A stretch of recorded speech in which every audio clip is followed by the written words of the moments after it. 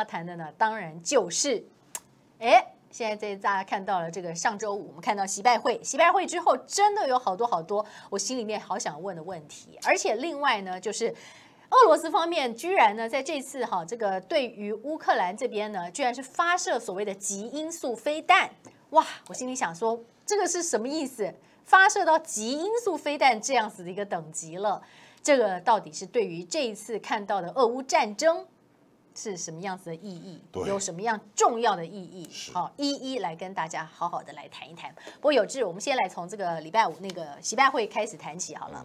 习拜会呢，我想其实这个重点啊很多，不过我特别想抓紧的呢有两件事。第一个就是在这一次我们看到这个习拜会呢，其实是在我们这边的晚上进行的，那在美国那边其实是白天啊，跟上一次我们看到的那个习拜会呢是刚好颠倒过来的。哦，我觉得这个其实可能也是双方都讲好的哦，就是你上一次呢其实是拜登要呃熬夜苦撑，那这一次呢就换这个呃拜登呢稍微轻松一点啊，感觉上呢有点是个中美在对等方面这样的一个默契啦。一来一往嘛，是一来一往嗯。哈、但是呢，这个中美两国，哎，现在关键已经在于领导人要互相对话了哈，特别也要针对好多的议题，尤其大家很关注的就是俄乌的问题，该怎么解决呢？就要看看拜登要听习近平的意见，那么习近平也希望能够跟拜登好好的沟通，否则的话呢，一再的被抹黑，一再的被放话哈，这当然不是中方所乐见的。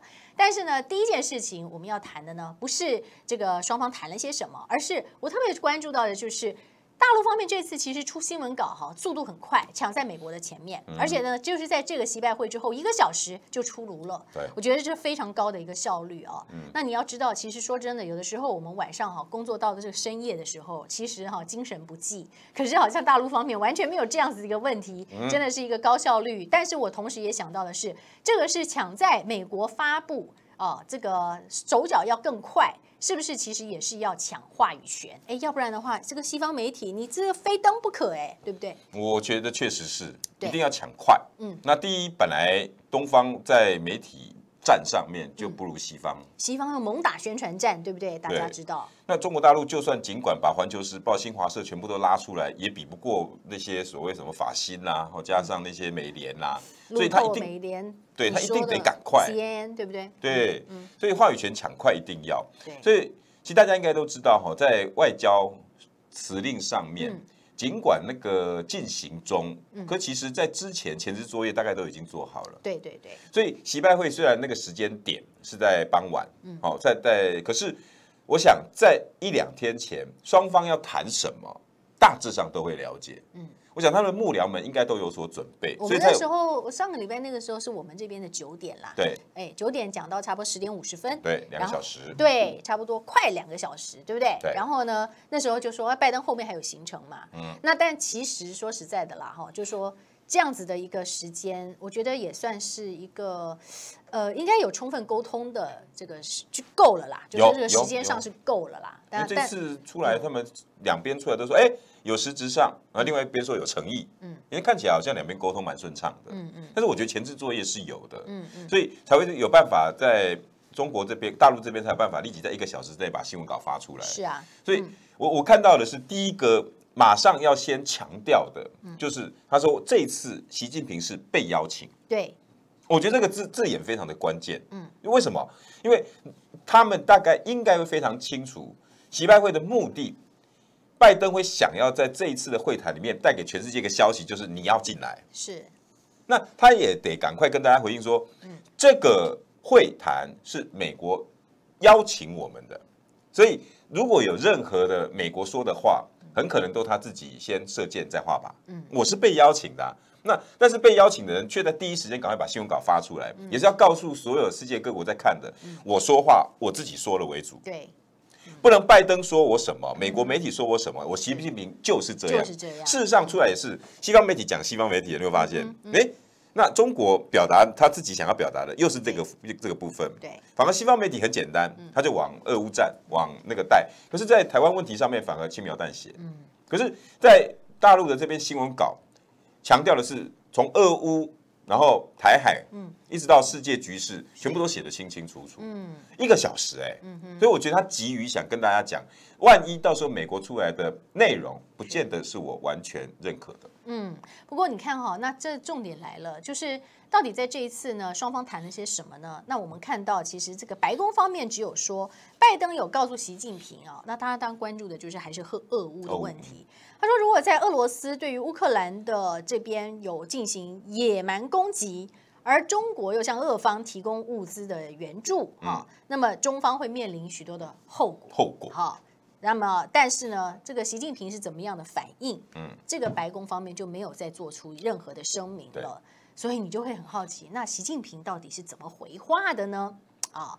但是说实在话，你们看到这个习近平，其实在这一次呢，在根据新闻稿里面哈，他谈到的有一个点，我觉得也蛮有趣的。习近平特别告诉了拜登说，美国有一些人，啊，美国一些人向台独势力发出错误的讯号，这很危险。第一，第二，他说美国有一些人没有落实我们两个人达成的重要共识，等于他第二次再提了美国有一些人。嗯，他说的美国有一些人到底是谁？那我就很好奇，因为我第一个想到的是说，白宫啊、这个的幕僚就是拜登要很信任的人，嗯，啊，才会常常会有这样子的影响嘛对，就是会值得让大陆领导人习近平要拿出来说嘛，一定也是要有一定程度的分量。对，那他指的到底是谁呢？我第一个想到的就是美国国务卿布林肯，要不然就是白宫的顾问，也就是 Jake Sullivan 苏利文，对不对？能够跟杨洁篪上谈判桌的，哎，不过就是这些人呢。那还有些什么人呢？对不对？那但是再者，他说的美国一些人到底是真的是指美国的一些人？那他讲的这个用意，那不就是说你你拜登，你你明明跟我有共识，可是你下面的人管不住啊，是这个意思？有些人这个用词哈，我觉得很中性，但是又有一些指涉意味。嗯，我在想啊，秦教官的问题，我我我自己的答案应该直接就是直指拜登。嗯，但是呃，在跟主人家刚谈完拜习会，嗯，结果呢，我一出来就说啊，拜登这个人哦，如果用这样主词，嗯，哦，美国或者是说拜登阁下，哎，我觉得这样主主持的使用太过于尖锐。哦，就外交辞令上不太可能故意就是我就是说你，嗯。你有些人释放出错误的讯息，是，所以我觉得习主席在这个习近平在这个部分呢，退而求其次。嗯。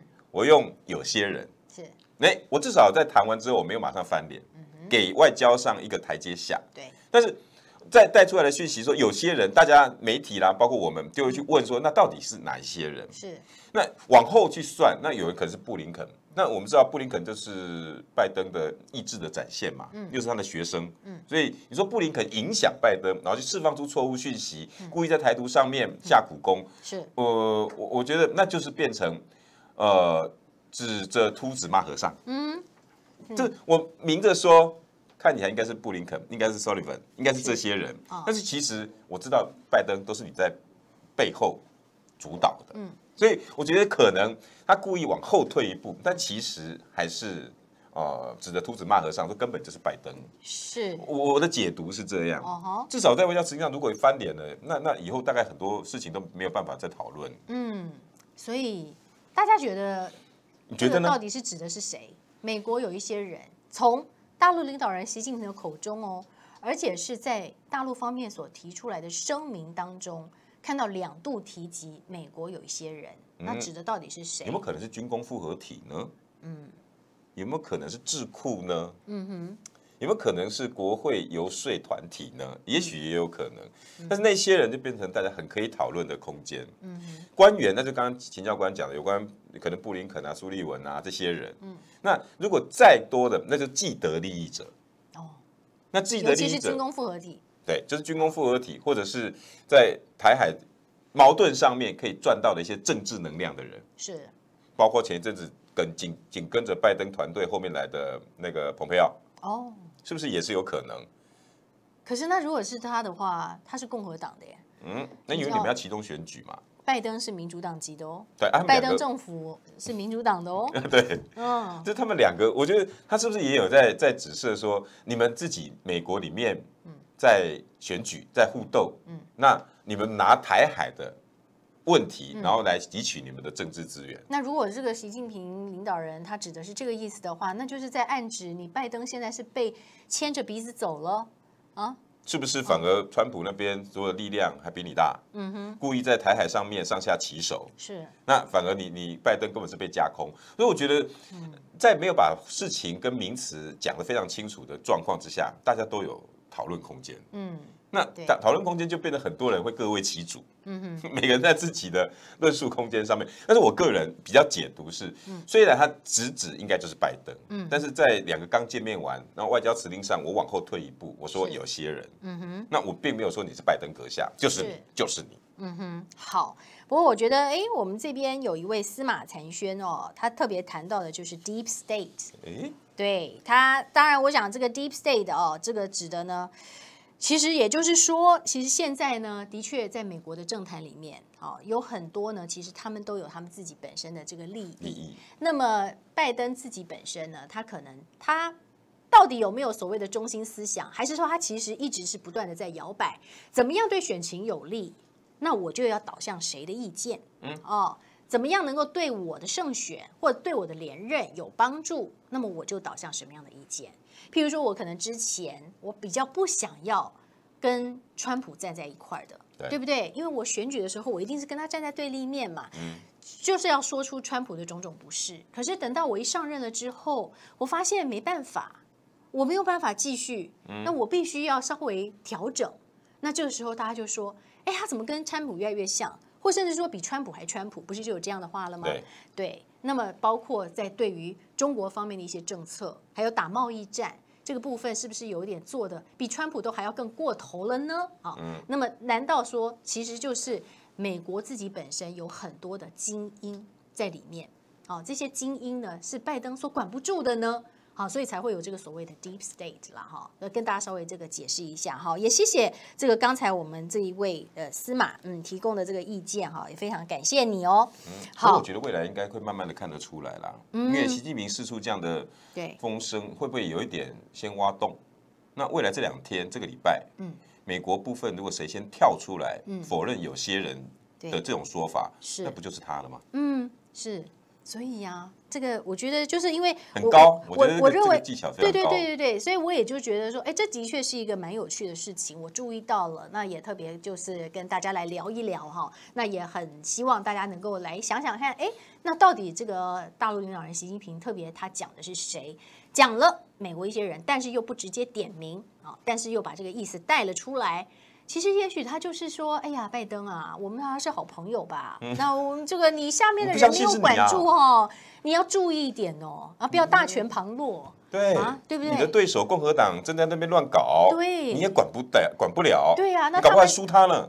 对啊，你任人群魔乱舞，那那么影响到了你的这个执政，影响到了你的威信，对不对？那当然不好嘛。我是在乎你的，哎，是不是？我是在乎 美国的跟我们之间的关系。不是中美贸易现在就不能就关系不能够再这样子僵持下去，嗯对不对？或甚至是恶化下去，对双方都不利吧？不利啊。嗯可是如果有人在这个有些人说法里面，急了，对，然后自己跳出来，那不就叫对号入座？嗯哼，所以我觉得习近平的用词还蛮蛮有外交上面的技巧。嗯哼，万一真的这时候跳出来，那不就坐实了？习近平说有些人那就是你啊。哦，如果是军工复合体的那几个参议员、众议员突然跳出来，嗯你这样子的说法，然后我们一直都以中一个中国的原则跳出来大骂，是，那不就是你了吗？嗯哼，因为我觉得这个对话入座这一招其实还蛮高，但是这两天好像比较没有看到美国国会或者是相关智库人跳出来，目前为止。嗯哼，好，当然是持续关注。不过我们看到呢，在这次的这个习拜会之后，我们就要来了解一下各方的反应了，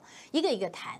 包括呢，我先讲一下美国好了。嗯，你看拜登要去欧洲喽，就是在本周哦。然后呢，他要访问的就之前传出来的嘛，包括北约，北约在哪里？比利时布鲁塞尔要去了，嗯，波兰他也要去，波兰。要去，我真的很好奇，到时候呢，如果在场又有记者问了一样的问题，你的飞机的问题吗？对。的难民的问题，难民的问题。哎，那时候这个贺锦丽副总统，嗯，到那边去面对记者问的时候，哦他不是还哈哈大笑先去看着这个波兰总统看了一眼，就是这个问题是不是你来回答？然后呢，啊，friend in need is a friend indeed，结果呢，这个当场大家还哈哈大笑，把大家吓住了。对，这次我想拜登不至于啊，这个外交还是比较有经验的嗯哈。美国的这个总统拜登要去波兰，我真的很好奇，到底要怎么样来去解决相关的问题，包括难民的问题。好不好？有志，其实你看这个气氛哈，你看就是在习拜会了之后，马上要去欧洲，然后呢，在去了欧洲之前，已经开始听到风声了。嗯，哎，是不是应该开始可能要对大陆方面，也可能要继续来进行这个所谓的制裁了？哎、制裁不是在制裁俄罗斯吗？这时候开始在讲说，可能是不是要有所谓的 secondary sanctions 制裁，轮到中国啊？嗯，对，这是什么意思呢？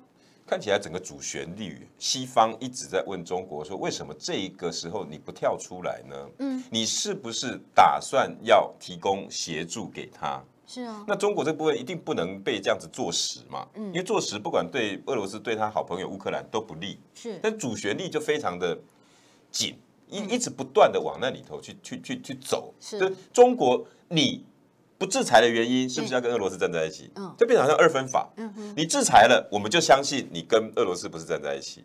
嗯那你不制裁，那你就是跟俄罗斯站在一起，而且我怀疑你你说的是不谴责啦，就是因为他们不现在都是在制裁求，哦哦，对不对？对第一时间是在讨论谴不谴责谴。责，对那，那时候他给呃，包括王毅一直释出来讯息说，为什么要谴责？谴责有什么用？嗯哼，如果谴责有用，早就已经战争解决啦。嗯那再来就是第二步，就一直在加加深说，那你要不要提供制裁？嗯哼，那如果制裁下去，那就是要断俄罗斯所谓人家说提供给中国的后续，不包括西伯利亚那个天然气管线，哦是，包括人民币可以使用，嗯包括后面的那个那个粮食的购买。嗯那如果断掉，那就表示制裁了嘛。那如果真的做了这一步，那就是让中国跟俄罗斯翻脸了。嗯所以我觉得西方，比如美国一直在一步一步的要把这个东西做实了。那中国当然也不可能就被你这样拖下去啊，是啊，我得赶快反击啊。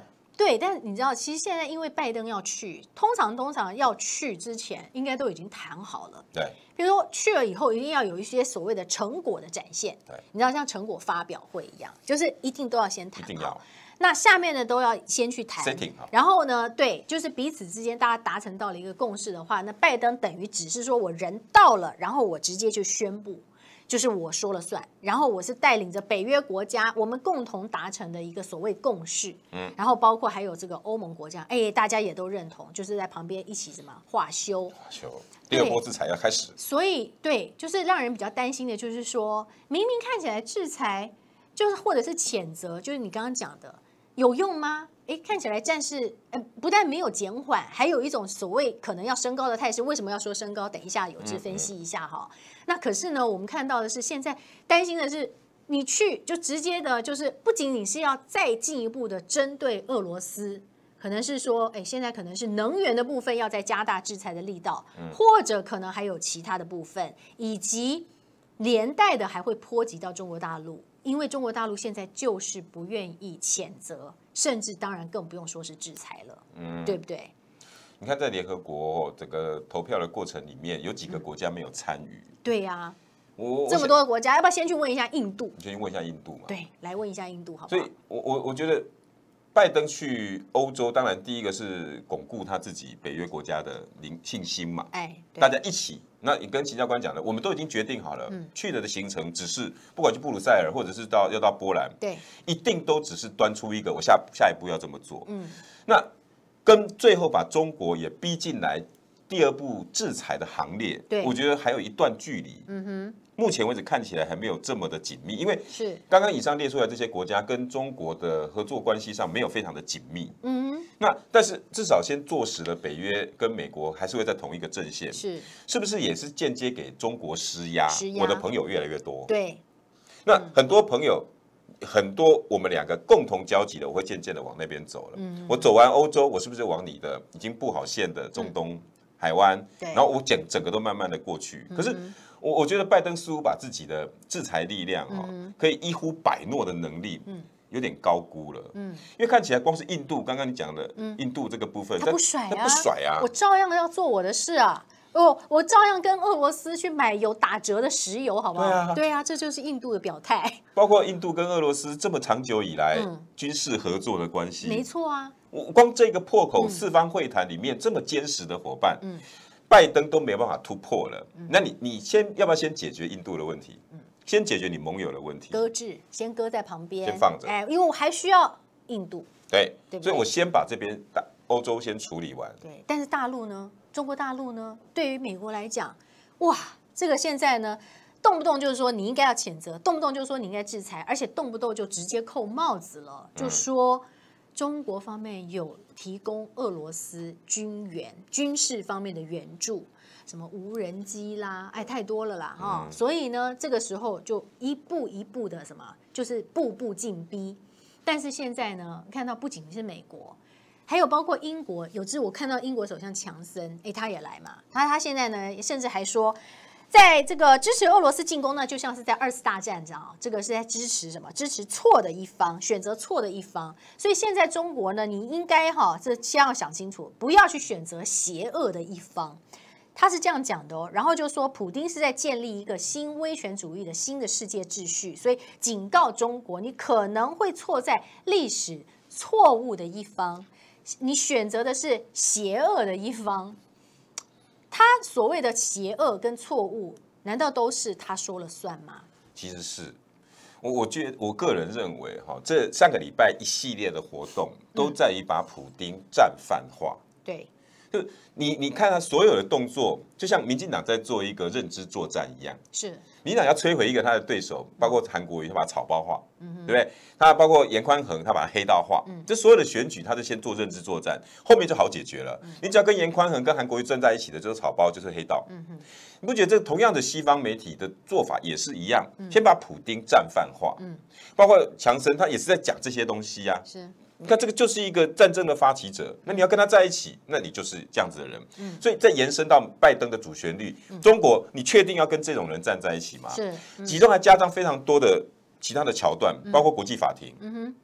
你还记得国际法庭上面十三票对两票，嗯就通过一定要俄罗斯现在马上放下屠刀，立地成佛，因为你已经是侵略了。嗯我觉得他已经在战犯化普丁。是，然后把整个俄罗斯入侵做实了，然后最后把中国放进来，我证明了一个你跟俄罗斯连结，对，你已经战犯化了，俄被妖魔化了，结果这样子一个战犯，这样子一个妖魔，你中国却私底下不做任何的谴责，是。那你就是妖魔之一。但是现在不仅是西方国家，你看到乌克兰哦，乌克兰你不要忘记，其实它其实是本来是中国好朋友。对。中国为什么要说保持中立？哈，其实呢，一方面俄罗斯还有乌克兰都是好朋友，可是现在乌克兰的态度越来越怎么样？越来越认为，至少他在他公开的这个说法上面呢，就认为说你中国跟俄罗斯你现在是一国的，你中国已经是选边站，而你选的就是俄罗斯。否则的话，为什么这个乌克兰方面的官员呢，一个一个开始连番在炮击？讲的是什么呢？我们来给大家听听看，包括乌克兰方面哈，你看这个总统的顾问哈，他说他发推特，他说如果中国政府做出支持文明国家、谴责俄罗斯入侵行动的正确决定，那么将成为全球安全体系的重要组成的部分。那么这就会是中国各国防议题可以跟世界其他的国家平起平坐的机会对。有志，我第一个反应是。中国现在他说将成为全球安全体系重要组成的部分，它是联合国常任理事国之一哦，中国哟。然后他现在是说将成为，难道不是已成为吗？这是第一点。第二，乌克兰的副总理他现在说，北京啊，你应该要赶快去反对俄罗斯，也是同样的要求要谴责，因为我们要的不是棉被，我们要的是武器。最主要呢，他就是在回应。大陆方面都什么都一直只说我们愿意提供人道援助，但但是呢，就是不愿意提供武器给我们。他是在帮助俄罗斯，他讲的是这个意思。我觉得中国一直在努力的哈，试图让自己跟这一场战争，或者是说呃军特殊军事行动也好哈嘿，一直能试图能够保持距离。是啊，可这个努力似乎被整个西方国家，甚至乌克兰本身呢，一直要把它用议题上把它拉近。对，你看，包括秦刚也都一直讲，他就对接受媒体访问说，我有帮忙啊，嗯可是我帮忙的是人道，哎，我不在战争上面沾上边。是。那人道部分呢，我该给的牛奶，我该给的物资、医疗，我都给啦。是，结果紧接着而且我还会继续给呀。对。如果有需要的话，再加码今天。都还有啊，最新就说什么呃一千万美元的援助是提供给乌克兰金钱方面的援助。对，啊，是。可是接受的人，他先反而出来讲说：“对不起哦，你给我那么多棉被干什么啊？我我我要的是武器啊。”嗯他也就是说，我的武器其实武器不代表真的只是 weapon，哦，可能不是是战争上的武器，它的武器代表说你要帮我是谴责俄罗斯，是制裁俄罗斯，这也是一种武器嘛。是因为这场战争，秦教官之前已经定掉了，包括军事战、经济战、外交战，嗯对不对？武器是不只是军事化武器，包括制裁啊。嗯哼，所以我觉得乌克兰这部分是很聪明的。是你给我棉被，但是呢，给我一点点武器嘛。这武器包括你表态嘛，帮我制裁啊，俄罗斯，是那也就可以了嘛嗯。可是问题是，这个部分大陆能够下去吗？如果他下去了，那他不就被坐实了？他也是战犯之一。因为我刚讲，整个西方已经把普丁战犯化了。嗯哼，你跟他站在一起的人，全部都会变成战犯，包括前一阵子被大家谴责制裁的，包括连不愿意帮忙的波兰提供飞机都被欧盟所制裁。我跟你讲，其实现在乌克兰哈，当然我我我也很同情乌克兰人民现在目前的处境，他们非常的艰难哈，这点我必须要这么说。对，但是乌克兰政府呢，泽伦斯基这位领导人呢，到底在干嘛？现在呢是什么？现在是呃一直不断的在抱怨，譬如说中国大陆给他的援助，中国大陆给予他一些支持，他都认为说这个不是我要的。那么对西方国家一样哦，他不是只有对中国这样哦，他对西方国家也是这样啊。你看他对于美国是不是一直在喊，我们要的呢是攻击型的武器，而不是只能有防御型的武器。然后对着整个北约，对着整个欧盟，不是一直都在喊，对啊，我要进航区，怎么就是不给我？我要加入北约啊，你们就是不让我加入。我要进欧盟，然后呢，我还要继续努力，但是你们怎么现在呢都不赶快对，给我一个快速通道让我进入？也不断的在那里一直要求，一直在那边主张，然后泽伦斯基就是频频的在各个不同的国家的国会上面演说。这个是真的能够止战的好方法吗？当然不是啊，嗯这一定是越越吵会越凶。但是乌克兰这种方法，我个人是判断，他绝对不可能出自于泽连斯基一个人之手，是，他背后一定是美国。当然他所有现在要讲的话，一定是美国受益，那些台词说不定都是布林肯已经都写好的。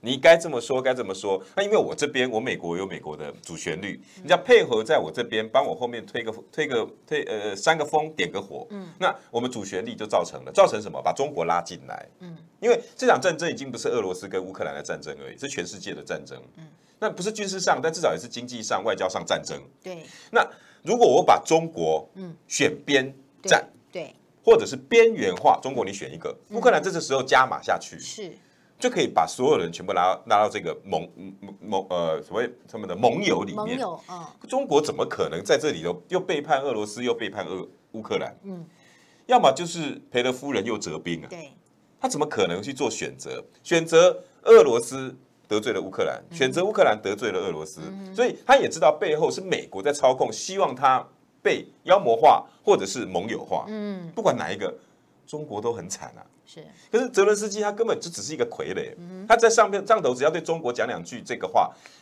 中国对于这个好朋友，他必须要给他一点回应啊，是，所以就变成他很左支右绌，所以这一次就变成看习近平的。呃，或者他和整个大陆团队、外交团队的回应方式，嗯。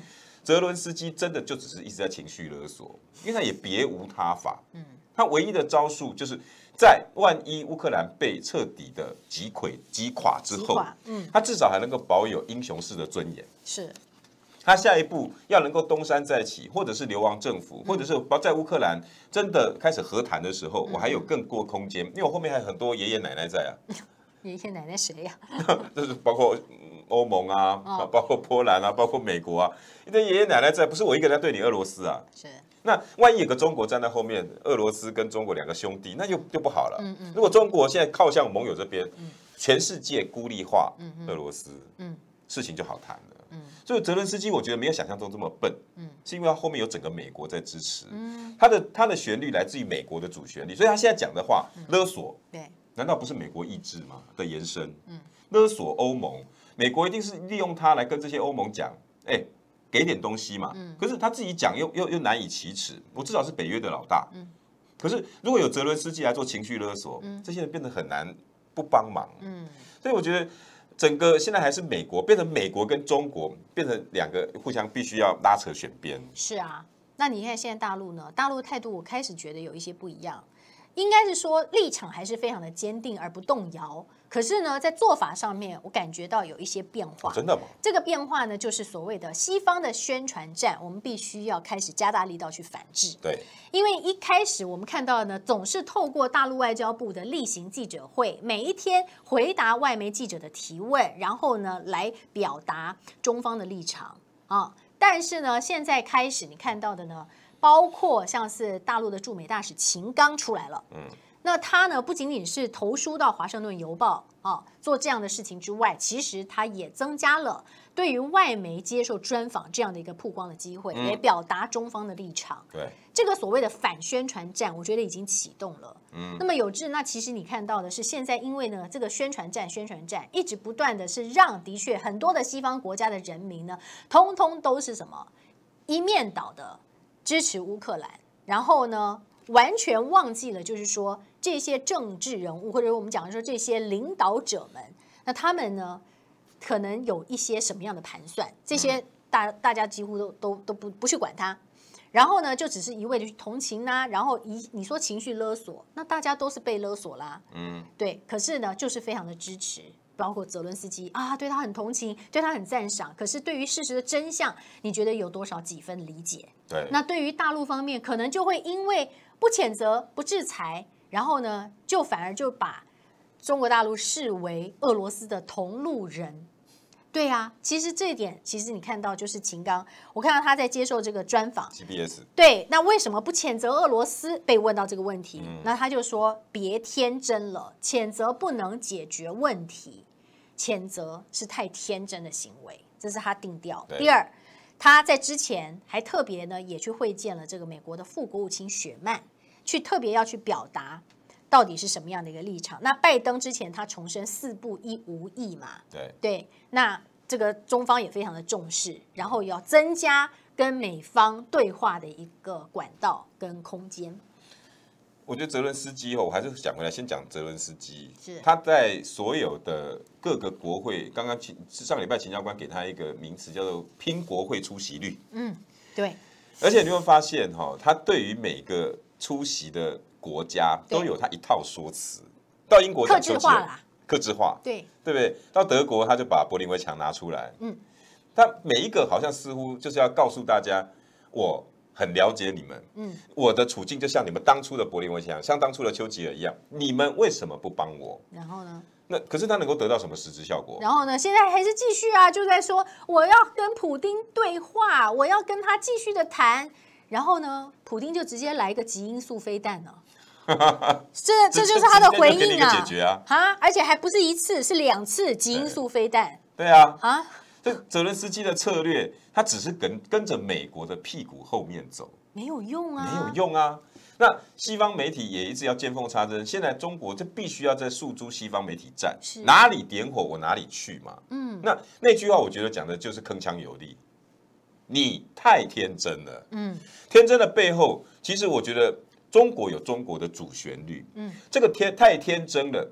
秦刚再继续论述的，就是说你根本不了解整个事情背后发生的原因，你以为这样子谴责就可以把战争米平了吗？是，很多必须要延伸的，就是你你你有真正了解俄罗斯跟乌克兰发生的问题？嗯，所以在那个我刚刚讲的国际法庭十三票对两票里面，当然这两位法官，嗯，一个是中国的法官，是一位是俄罗斯的法官，他们带出的讯息。就是针对秦刚的主旋律一直走，就是说你们完全不了解整个乌克兰的背后到底跟俄罗斯发生什么关系。嗯你们西方却只是在二月二十四号之后用战犯化，然后把普丁跟俄罗斯，那你要我中国帮你解决什么？嗯，你们已经先射箭在画靶了，你这时候一直要我们中国下去，难道我把这事情解决了，我先得罪一个朋友，那下一次你是不是拿我的拿这个朋友再来对我？嗯哼。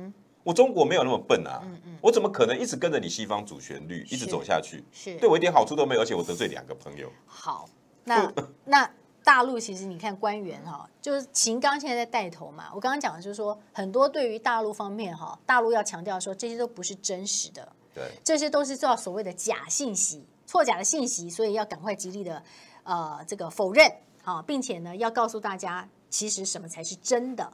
那么大陆的副外长哈，那他也特别谈到，就是说，你看对于西方哈，这个现在很多这种对于俄罗斯。是铺天盖地的制裁，他直接就说离谱，就只给两个字，就是离谱啊！因为对猫啊制裁，狗啊制裁啊，树木制裁等等哈，大家都可以看到，我不用赘述。对，可是呢没有用啊，所以重点在于你觉得这个有用还是没有用？如果俄罗斯他现在是真的怕了，那他软化了，开始屈服了啊，说好，那我也要谈。那好办呢？那好办啊，那就继续制裁，继续的谴责，因为他会怕。嗯，可是现在目前整个事情发展的方向呢，完全又看不出来他有一丝丝态度软化的迹象。有啦，之前有人说，其实我们也是可以谈的哦，我们也是要往谈的方向去行进行。可是当他看到就是一面倒的，大家都是谴责俄罗斯，好像我有多坏，然后呢，通通都站在乌克兰这一边，然后乌克兰又在那边跟西方的国家。对，一直不断的在那里打悲情牌。你说对于普丁来讲，他是心中作何感想？那如果真的想谈的话，又觉得你可能根本是没有诚意的。嗯，所以呢，就干脆就直接来所谓的基因素飞弹了。